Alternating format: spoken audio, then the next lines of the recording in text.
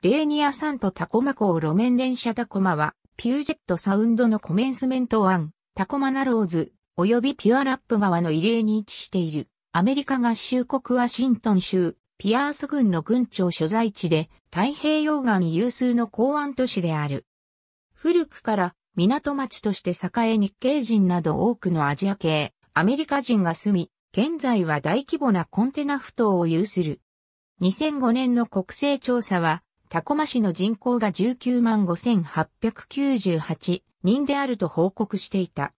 タコマ市は、北緯47度14分29秒、西経122度27分34秒に位置し、高度は116メートルである。欠片の気候区分では、冬季タウ、夏季乾燥する、地中海性気候に区分される。年間を通して、冷涼で過ごしやすい気候である。アメリカ合衆国統計局によると、この都市は総面積162.2平方キロメートルである。このうち129.7平方キロメートルが陸地で32.5平方キロメートルが水地域である。総面積の20.01%が水地域となっている。近隣に大森林地帯を抱えることから、古くから林業、木材産業を中心に、さらにそれら製品を移動させるための鉄道や港の物流施設を活かした流通業が盛ん。現在、北米最大の林業会社に成長したウェアハウザー社も創業時にはタコマに事務所を置いていた。シアトルタコマ国際空港がシアトルとタコマにまたがっている。アムトラックの駅があり、オレゴン州ユージーンよりシアトルを経由してカナダのバンクーバーに至るアムトラックカスケーズとロサンゼルスとシアトルを結ぶコーストスターライトが停車する。このほか、通勤鉄道のサウンダー通勤鉄道とライトレールのタコマリンクも通る。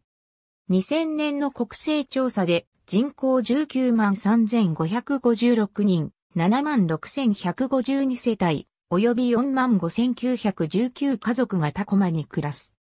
4年後にアメリカ合衆国統計局はタコマの人口が19万6800人へ1.7%増加したと見積もった。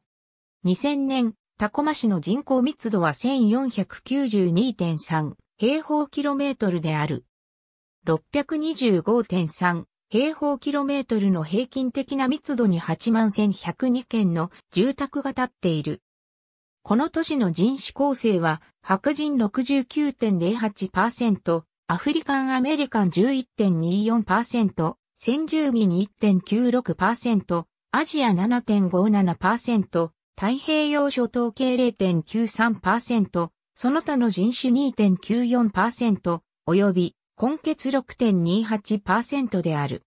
人口の6.85%はヒスパニック、またはラテン系である。世帯ごとの平均的な収入は37,879米ドルであり、家族ごとの平均的な収入は45,567米ドルである。男性は35,820米ドルに対して、女性は27,697米ドルの平均的な収入がある。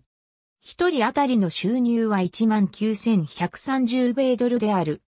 人口の15.9%及び家族の11.4%は貧困線以下である。